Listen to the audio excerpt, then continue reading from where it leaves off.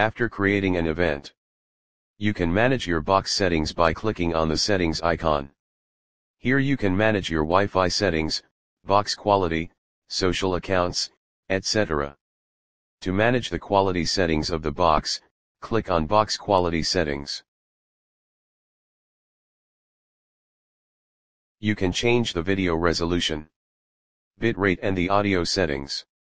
Once you are done, click on Save. You can also manage your social accounts.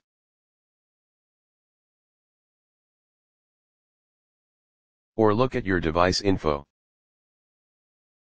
After you are satisfied with all your settings, you can go back and start your live broadcast. Tap on the Start event. Select your platforms to go live. You tap on the gear icon here to manage your platform settings. You can change your Facebook privacy settings. Add a video title. And once you are done, tap on Save.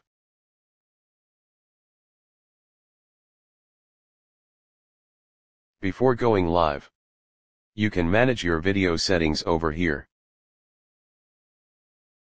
And enter a video title. You can also see your video preview, by tapping on the source preview. Here you can even check the video statistics.